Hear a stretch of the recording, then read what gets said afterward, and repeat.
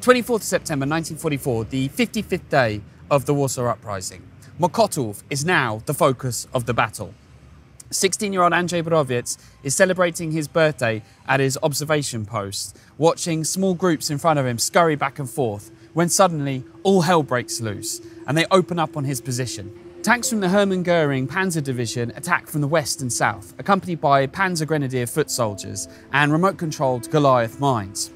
Fortunately, the troops in Mokotów are able to use their British supplied airdropped Piat anti tank rocket launchers to fight the attack off. Not for the first time, Andrzej, like many other soldiers, finds himself wishing he was back in the cobbled, densely packed, and narrow streets of the old town where defence was, relatively speaking, easier.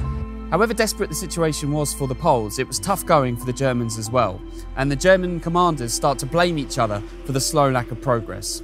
They send in two captured Polish officers back into Mokotów uh, and offer to allow the civilians to escape, but with the threat that if they don't, they're going to flatten Mokotów as they have the other districts of the city. Again, the Polish civilians trapped in these districts are faced with a terrible choice. Do they trust the promises of safety and a passage out of Warsaw, or do they stay alongside the soldiers?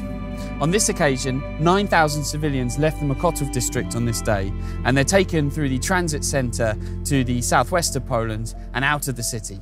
Thanks for watching this episode of 63 Days of Extraordinary Courage, where we tell the story of the extraordinary Warsaw Uprising, a story which is almost completely unheard of outside of Poland.